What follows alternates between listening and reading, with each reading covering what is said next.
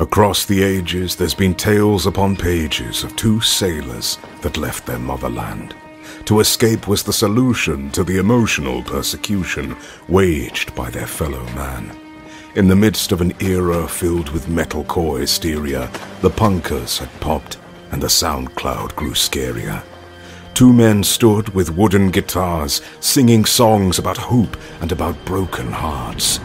Leaving their loved ones to take to the seas, they embarked on a journey to find their scene.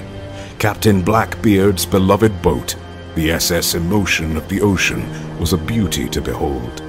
Once at dock, the sailors' band would come upon shore with fiddles in hand. They'd sing sad songs to the people on land, with their hearts on their sleeves and their toes in the sand. In their fifth year offshore, after the last voyage of Warped, a thousand-year storm made them lose true north.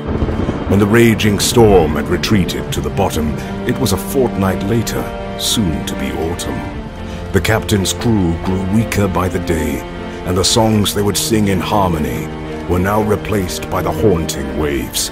Surely the deep would become their graves. And at this moment, when all felt doomed, the first mate used what strength he hadn't consumed he climbed the mast with his telescope in hand, looking for something to lead him to land. He peered to the left and he glared to the right, searching for life in the vast dark of night. When all seemed lost, he caught a glimpse of something afar to the front of their ship. A glimmer of hope, a flicker of life, a tiny spark that danced at night. It was a little light.